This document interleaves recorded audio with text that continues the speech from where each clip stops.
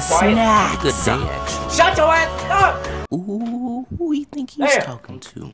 I think he was talking to us. I'm gonna give y'all y'all grades. mm-hmm. Okay? Now quiet down. John, you don't say crap. Lewis, you have an A. Yeah. Eric, you got an F. Bullshit.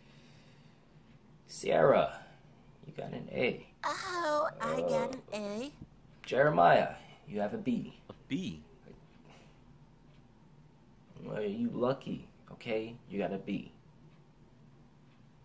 Alright? You can't get any better than that. You lucky you pass. So shut up and deal with this grade. Man, I'm supposed to have straight A's. Alright. Uh, Maurice. You got a C. Tom. You have an F. So that means I failed the semester then? Yes. Well, I knew this day was coming. A very. No,